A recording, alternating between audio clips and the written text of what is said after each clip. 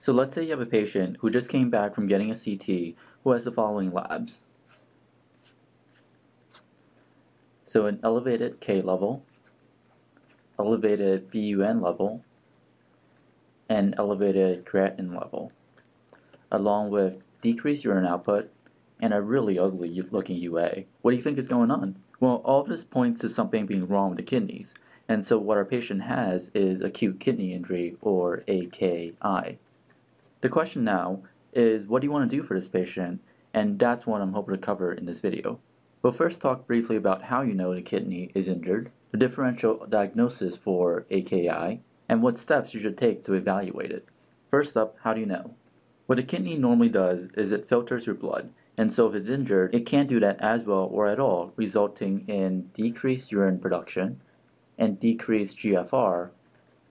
However, GFR is hard to measure exactly, and so what we use instead is the serum creatinine, which isn't ideal but good enough. So essentially, an increase in creatinine from baseline is what we often use to evaluate for kidney injury.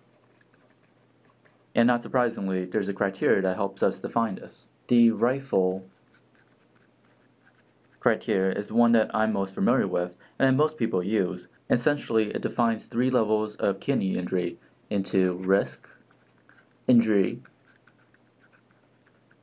and failure. Based mostly on creatinine, but also on GFR and urine output.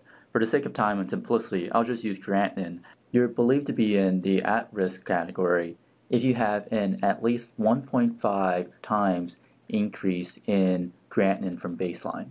You're believed to be in the injury level with a 2 times increase in baseline creatinine. And you're in the failure category if you have at least a 3 times increase in baseline creatinine. I want to emphasize this because this might cause some confusion even if you're at the at-risk category only, you still technically have AKI. Okay, so now you know that your patient has AKI or acute kidney injury. Now what? You want to figure out what's causing the kidney injury, and the differential diagnosis for this is fortunately pretty straightforward.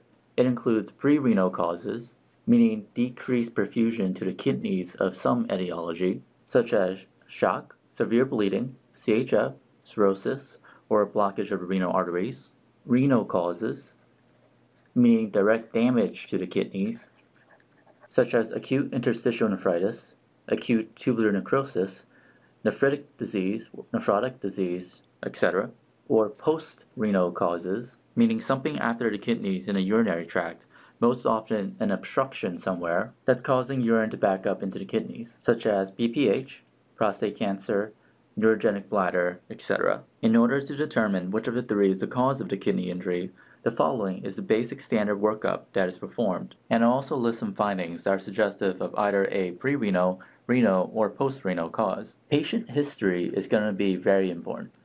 Knowing what happened to your patient most of the time will tell you what's likely happening or at least point you in the right direction. For example, if your patient recently bled 2 liters of blood or is in septic shock, a pre-renal cause is more likely. If your patient was recently given IV contrast, then a renal cause is more likely. If your patient has a history of BPH, then post-renal cause is more likely. Similar to a history, a physical exam is going to be very important.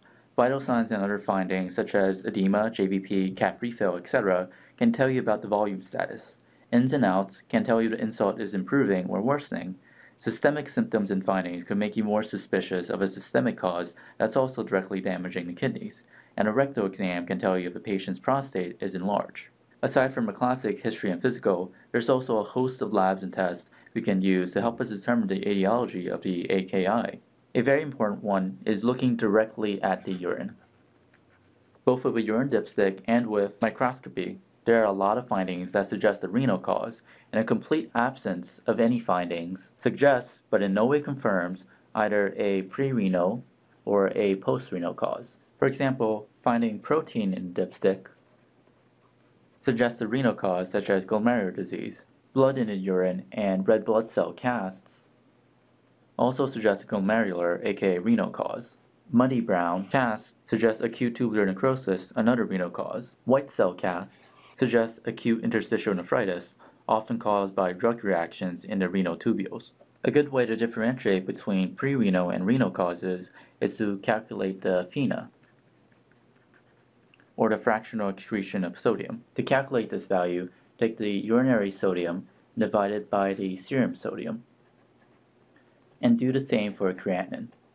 So urinary creatinine divided by serum creatinine. Then divide the resultant fractures into each other, the sodium one divided by the creatinine one. Since this is a percentage, multiply by 100. The resulting number is the FeNA. A FeNA under 1% suggests a prerenal cause, and a FeNA about 2% suggests a renal cause. I want to emphasize here that being pre-renal and having ATN, a renal cause, is a progression of the same disease. If you're pre-renal, it means your kidney isn't getting enough perfusion, but it's still not damaged yet.